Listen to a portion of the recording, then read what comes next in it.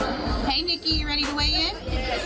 All right, let's see. What's today's date? February 21st, 2015. All right, Nicki, let's get your start weight. Tap the scale and let it go to zero. Your start weight is 196. All right, Nicki, let's do this, girl.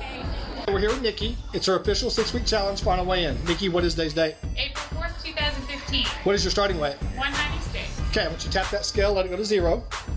We are at 173, 23 pounds. 23 pounds in six weeks. That is awesome job, girl. Yes, Out here. feel awesome. 23.